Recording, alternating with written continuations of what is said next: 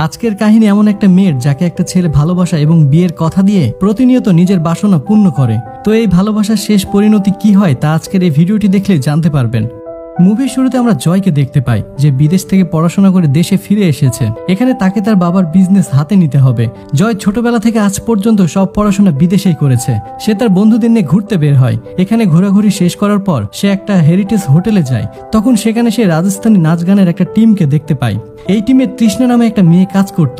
যখন ডান্স শেষ হয়ে যায়, তখন জয় তার সঙ্গে কথা বলে জানতে পারে তৃষ্ণা এখানে টেম্পোরারি কাজ করে। তার বয়স হচ্ছে উনিশ বছর। সে স্কুলের পড়াশোনা শেষ করার পর আর কলেজে ভর্তি হয়নি। কাজ শেষ হওয়ার পর তৃষ্ণা যখন একটা স্টাফের সঙ্গে বাড়ি ফিরছিল, তখন জয় এবং তার বন্ধুরা তাদের রাস্তায় দেখতে পায়। তারা তাদের লিফট দেয় এবং বাড়ি পর্যন্ত রেখে আসে। এই জানাশোনা এখান পর্যন্ত থাকলে তো ঠিকই থাকতো। কিন্তু একই ধারাতে চলমান তৃষ্ণার জীবনে এমন কিছু হতে চলেছে, যেটা তার লাইফকে নতুন একটা দিশাতে নিয়ে যাবে। তৃষ্ণার বাবা সবজি কেনা বেচার কাজ করে। তার নিজের একটা ভ্যান আছে, যেটা সে ইএমআই তে কিনেছিল। একদিন সকালে সে তার ভ্যানে করে সবজি নিয়ে বাজারে যাচ্ছিল। ভ্যানের পেছনে সবজি দেখাশোনার কাজে তার মেয়েকে দিয়েছিল।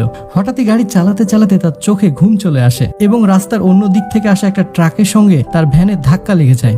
ঘটনাটি এতটাই ভয়ানক ছিল যে মনে হচ্ছিল তার বাবা গাড়ির নিচে চাপা পড়ে মারা গিয়েছে, কিন্তু কোনোভাবে তার প্রাণ বেঁচে যায়। তৃষ্ণার অনেক চোট লেগেছে, তার হাত ভেঙে গিয়েছে, তার বাবা এখন হসপিটালে। কখন সুস্থ হবে, কখন কাজে যাবে, গাড়ির ইএমআই কীভাবে ভরবে সেটা কেউ জানে না।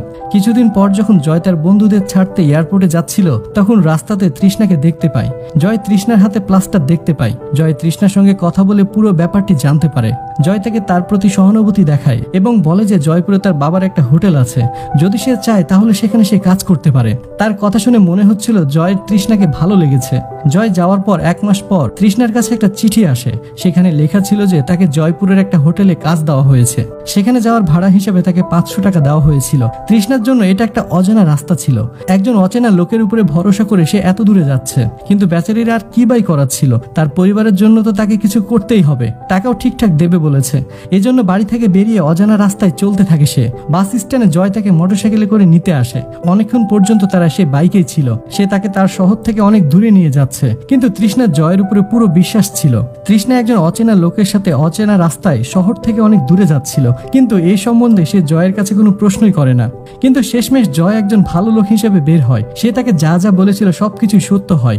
সে তাকে তার বাবার হেরিটেজ স্টাইল হোটেলে নিয়ে আসে। যেহেতু এখনও তৃষ্ণার হাত থেকে প্লাস্টার খোলা হয়নি, তাই সে তাকে তার বাবার পোষা পাখিদের দেখাশোনার কাজে লাগিয়ে দেয়। কিছুদিন পর তার হাতের প্লাস্টার খুলে দেওয়া হয়। তখন সে ফুল টাইম ওই হোটেলে ওয়েটার হয়ে যায়। কিন্তু জয়ের নজর সবসময় তৃষ্ণার উপরে থাকতো। তৃষ্ণাকে ইমপ্রেস করার জন্য সে তার রুমে একটা টিভিও লাগিয়ে দেয়। এরপর একদিন জয়ের বাবা লন্ডন থেকে ফিরে আসে। এখানে যখন জয় ছিল না, তখন সে তৃষ্ণাকে বলে যে, তার ছেলে তার খুব প্রশংসা করে। জয়ের বাবা তার চোখে ভালো মতো দেখতে পায় না। এই জন্য তৃষ্ণার চেহারায় হাত দিয়ে তার সৌন্দর্য মাপার চেষ্টা করে। তার বাবা চলে যাওয়ার পর জয় তৃষ্ণার আরও কাছে আসার চেষ্টা করে। আজকাল তার খাবার আনার কাজও তৃষ্ণার উপরেই ছিল। বাহানা করে জয় তাকে ছুতেও চেষ্টা করে। তৃষ্ণা বুঝতে পারে যে জয় তাকে পছন্দ করে, কিন্তু তার সাথে প্রেমে পড়া তার জন্য বিপদ হতে পারে, কারণ সোশ্যাল স্ট্যাটাস বলেও কিছু তো আছে। না তার সাথে জাতপাত মিলে, না সামাজিক মর্যাদা। কোনোটাই জয়ের সঙ্গে তৃষার মিলে না। কিন্তু দুজনের মধ্যে ভালোবাসা এক থাকলে এসবের কোনো মানেই হয় না। একদিন জয় তাকে বলে যে সে তাকে হোটেলে ম্যানেজমেন্টের কোর্স করাতে চায়। এসব দেখে মনে হচ্ছিল তৃষ্ণার লাইফে সবকিছু ভালোই চলছে। ভাগ্য তার উপরে ফুটে পড়ছে। একদিন সে জয়ের কাছে ছুটি নিয়ে তার বন্ধুদের সঙ্গে একটা পার্টিতে যায়। ওই দিন পার্টি থেকে ফিরতে তার একটু দেরি হয়ে গিয়েছিল। আসার সময় কিছু ছেলে তার পেছনে লাগে। কিন্তু ভাগ্য ভালো যে সে বের হওয়ার আগে জয়কে কল করে দিয়েছিল। আর জয় ঠিক সময় সেখানে চলে আসে। এরপর একটা নির্জন জায়গায় হঠাৎ করে জয় তার মোটরসাইকেল থামিয়ে দেয় আর প্রথমবার তারা দুজন দুজনের খুব কাছে আসে। মনে হচ্ছিল এবার থেকে এইরকম ভাবেই চলতে থাকবে। কিন্তু এইসব তৃষ্ণার একদমই ভালো লাগে না। সে সারা রাত কাঁপতে থাকে এবং পরের দিন সকালে সব জিনিস প্যাক করে সে নিজের গ্রামের বাসায় চলে যায়। সে কারও জন্য টাইম পাসের বস্তু হতে চায় না। কিন্তু তৃষ্ণা যখন বাড়ি আসে, তখন তার বাড়ির সবাই হতাশ ছিল যে এত ভালো কাজ কেন সে ছেড়ে এসেছে।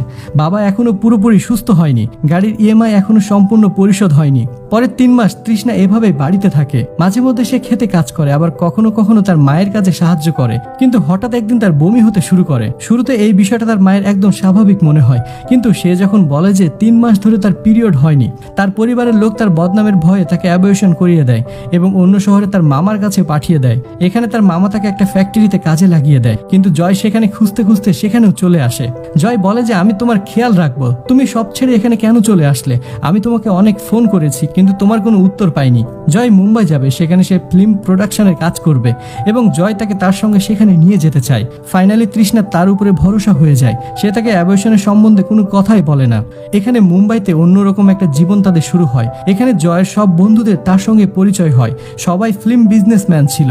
কেউ স্ক্রিপ্ট লেখে, কেউ অ্যাক্টর তো কেউ আবার ডান্সার এখানে থাকতে থাকতে জয় এবং তৃষ্ণার মধ্যকারের সমস্ত দূরত্ব শেষ হয়ে যায়। সব সময় দুজন একসঙ্গে থাকে।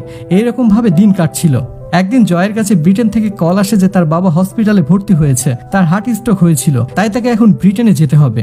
ওই দিন রাত্রে জয় বলে যে, সে বাড়ি গিয়ে তার ফ্যামিলির সঙ্গে তার রিলেশনের ব্যাপারে কথা বলবে। তৃষ্ণার ভয় লাগছিল যে তার ফ্যামিলি তাকে একসেপ্ট করবে কিনা, কিন্তু এখন জয়ের উপর তার পূর্ণ বিশ্বাস ছিল, তাই সেখানে তাকে তার অ্যাবিউশনের কথা বলে দেয়। যাওয়ার আগে জয় তাকে কিছু টাকা দিয়ে যায় এবং বলে সে শীঘ্রই ফিরে আসবে, কিন্তু দেখতে দেখতে অনেকটা সময় কেটে যায়। পরের মাসে সেখানে একজন মহিলা আসে, সে বলে যে তাদের এখানে লিস্ট শেষ হয়ে গিয়েছে পরের সপ্তাহে নতুন ভাড়াটে আসবে। অসহায় হয়ে তখন তৃষ্ণাকে এখান থেকে যেতে হয়। এরপর সে তার ডান্স গ্রুপের সাথে একটা অ্যাপার্টমেন্টে ভাড়া থাকে। এখানে সে তার লাইফ নিয়ে ব্যস্ত ছিল। ঠিক তখনই একদিন জয়ের কল আসে। সে বলে যে সে আবারও এখানে ফিরে এসেছে। কিন্তু এবার ফিরে আসার পর জয়ের রূপটা একদম অন্যরকমই ছিল।